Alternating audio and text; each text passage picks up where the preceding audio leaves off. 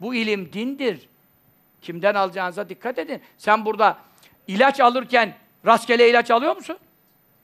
Alıyorsan zaten mezarı boyluyorsun.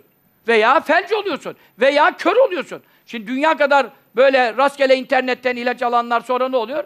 Sonuç mahkemede neticeleniyor. Şöyle olduk böyle olduk. Olursun tabii kardeşim. Niye sen dikkat etmedin? Doktora sormadın, şey yapmadın. Yani hadi hiç olmasa doktora sormak, gitmek, o da bir masraf, mesai, şudur budur. Biz burada bedava konuşuyoruz. Bütün sitelerde, internetlerde binlerce sohbet bedava koymuşuz.